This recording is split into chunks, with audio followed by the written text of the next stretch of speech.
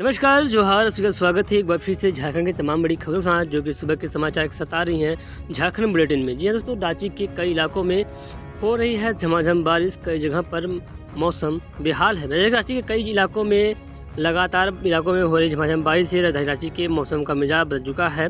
रांची के कई इलाकों में झमाझम बारिश हो, शुरू हो गई है।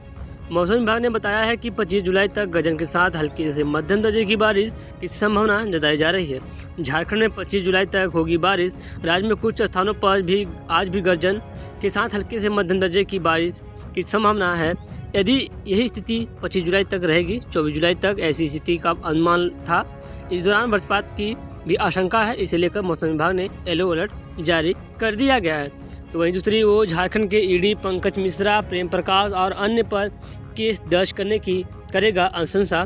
प्रवर्तन निदेशालय यानी ईडी की ओर से एक दो दिनों में अवैध खनन की जाँच के दौरान मिले तथ्यों की सूचना राज्य सरकार के साथ साझा की जाएगी। साथ ही इस मामले में पंकज मिश्रा, प्रेम प्रकाश और अन्य के खिलाफ प्राथमिकी दर्ज करने की अनुशंसा की जाएगी। ईडी द्वारा पीएलएमएल की धारा छाछठ दो के तहत साझा की जाने वाली यह पांचवी सूचना होगी। एक हज़ार करोड़ रुपए से अधिक की अवैध खनन और मनी लॉन्ड्रिंग का अनुमान लगाया गया है। मदन लाल चौधरी बनाम केंद्र सरकार के मामले में कोर्ट द्वारा दिए गए फैसले के आलोक में ईडी द्वारा जाँच में मिले तथ्यों और सबूतों से संबंधित सूचनाएँ राज्य सरकार के साथ साझा की जाती हैं। झारखंड के रिम्स में सीनियर व जूनियर छात्र भिड़े निदेशक आवास में मचाया उत्पाद हॉस्टल खाली करने का निर्देश दिया गया।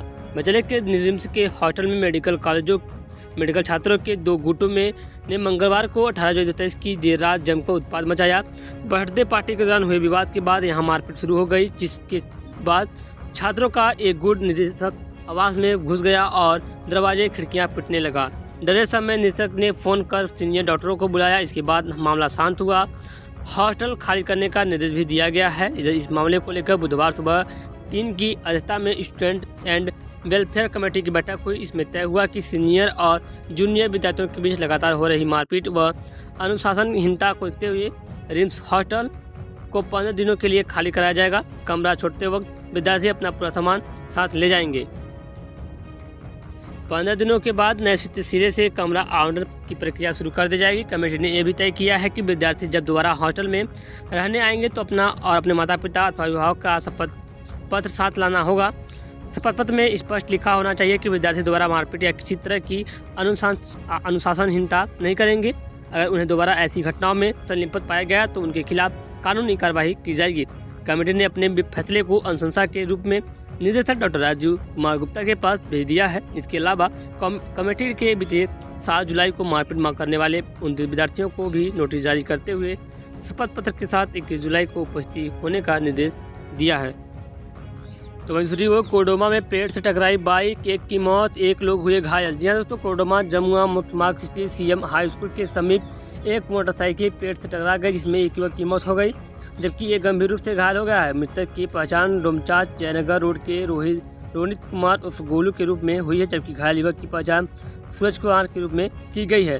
तो वहीं दूसरी ओर, लातेहार में नक्सलियों का हमला, युवक की बेरहमी से की गई हत्या लातेहार जिला के प्रखंड महुआ डांट के नेत्रहार थाना क्षेत्र स्थित द्रुप पंचायत के ग्राम उदौना में भाकपा माओवादी नक्सलियों ने बड़ी घटना को अंजाम दिया है।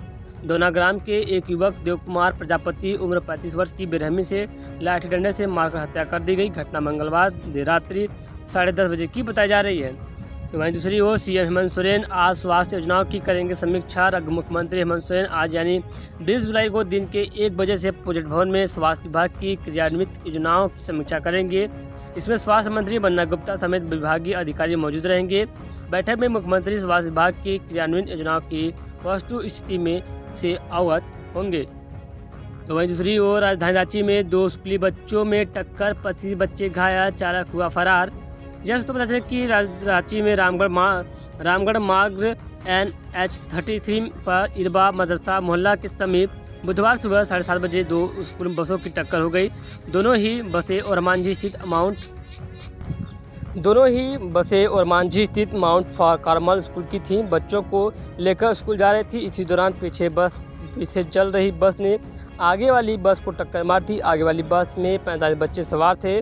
इनमें से पच्चीस बच्चे घायल हो गए हैं। वहीं जिस बच्चे, जिस बस ने टक्कर मारी, उसमें पचास बच्चे सवार थे।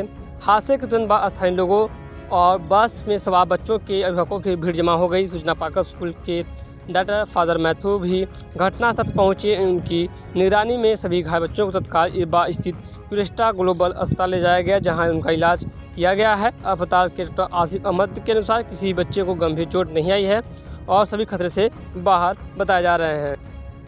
तो वहीं दूसरी ओर जे एस ने मांगा सहायक आचार्य के छब्बीस हज़ार एक पदों पर नियुक्ति के लिए आवेदन।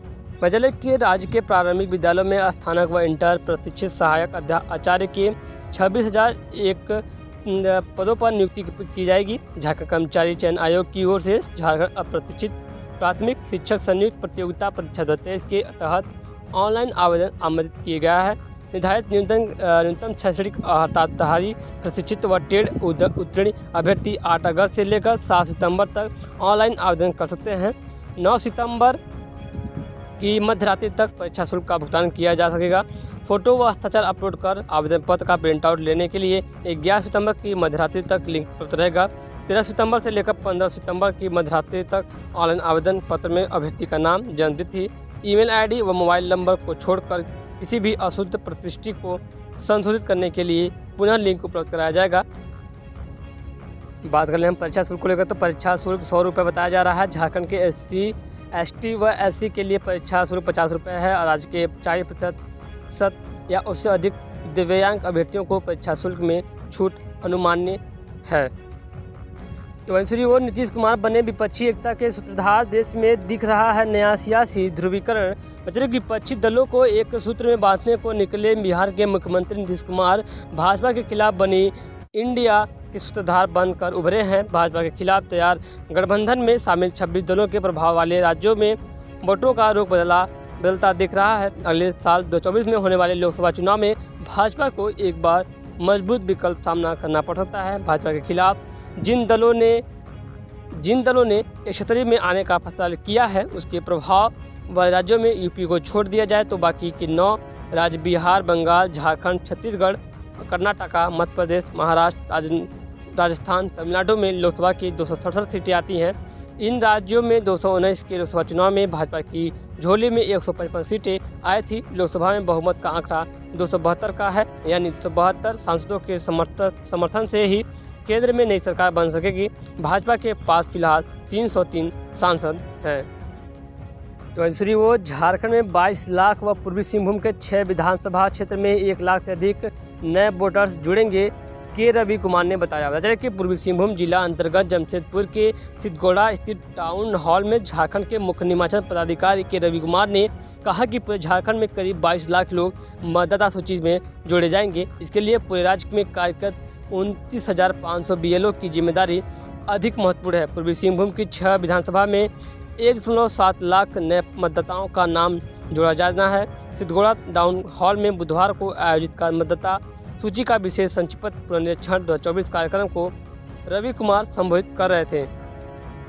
वंशरी वो राजधानी की राजधानी झारखंड की राजधानी रांची को जाम से निजात दिलाने के लिए रातू रोड में बन रहे एलिवेटेड कॉरिडोर में सूबे की कला और संस्कृति के साथ साथ पर्यावरण संरक्षण और उसकी खूबसूरती के भी दर्शन होंगे। इसके लिए एन एच आई और के सी सी विल कौन ने बड़े पैमाने पर तैयारी की है। रांची के सांसद संजय सेठ के सुझाव पर इस दिशा में काम शुरू हो गया है। मजले के प्रयास किया जा रहा है कि रातू रोड का एलिवेटेड कॉरिडोर देश के चुनिंदा कॉरिडोर में शामिल हो शामिल हो। तैयारी ऐसी ही है कि एलिवेटेड कॉरिडोर से गुजरने वाले लोगों को चित्रकला देखते हुए आनंद हो और झारखंड की प्रवृत्ति को देखने को मिले। तो वहीं दूसरी ओर प्रवासी मजदूरों के हित में काम कर रही है झारखंड सरकार। महाराष्ट्र में खुलेगा सेंटर, हेमंत सोरेन ने किया बड़ा ऐलान। बताया कि झारखंड के मुख्यमंत्री हेमंत सोरेन ने गिरिडीह के डुमरी क्षेत्र में उनहत्तर हज़ार तीन, उन्यासी हज़ार तीन सौ इक्यासी दशमलव छः सौ इक्कीस लाख रुपए की लागत वाली एक सौ अट्ठासी योजनाओं की सौगात गिरिडीह वासियों को दी है। इस दौरान कार्यक्रम में पंद्रह हज़ार लाखों के बीच संपत्तियों का वितरण किया गया। इस मौके पर सीएम ने कहा कि आपकी उम्मीदों और आकांक्षाओं को पूरा करने के लिए राज्य सरकार प्रतिबद्ध है। यह सरकार हर किसी की बात सुनती है और उसका समाधान करती है। सरकार जनता के साथ लगातार संवाद कर रही है। मैं भी लगातार क्षेत्र भ्रमण करता रहा हूँ ताकि योजनाओं की ज़मीनी हकीकत के साथ आपकी समस्याओं को जान और समझ सकूँ? मतलब की राज्य की तस्वीर और तकदीर बदलने का काम कर रहे हैं। कम कर रहे हैं हेमंत सोरेन सरकार। मुख्यमंत्री ने कहा कि झारखंड के अलग अलग राज्य बड़े दो दशक से ज़्यादा हो चुके हैं, लेकिन शिक्षा, स्वास्थ्य और रोज़गार एवं कई अन्य क्षेत्र में राज्यवासियों की उम्मीदें पूरी नहीं हो सकी हैं। गरीबी और पिछड़ापन पिछड़ापन का टैग झारखंड के साथ जुड़ा रहा, लेकिन हमारी सरकार विभिन्न चुनौतियों के बीच लगातार राज्य के विकास को गति देने का काम कर रही है। हम कोरोना काल में भी लोगों को जीवन जीविका के साधन उपलब्ध कराए हैं और अब झारखंड को अग्रणी राज्यों की श्रेणी में खड़ा करने के लिए पूरी ताकत के साथ काम कर रहे हैं। तो दूसरी ओर चौबीस पुलिस पदाधिकारियों को आईपीएस में मिली प्रोन्नति सरोजनी लकड़ा समेत इनको मिला है झारखंड कैंडर। जी तो झारखंड के चौबीस पुलिस पदाधिकारियों को भारतीय पुलिस सेवा यानी कि आईपीएस में प्रोन्नति मिल गई है। इसके साथ ही झारखंड को 24 नए आईपीएस मिल गए हैं।